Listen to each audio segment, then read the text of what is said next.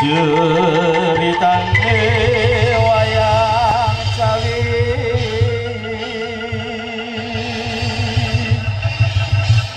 ing procongan lengkap diraja.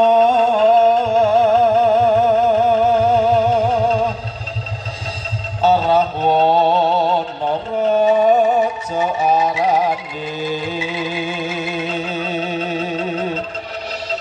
gawe geger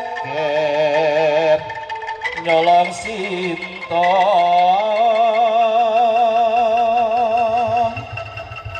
Hanuman tancut tumandang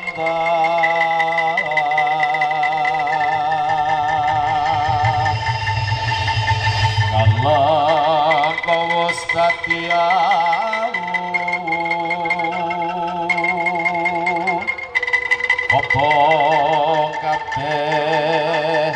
jroning praja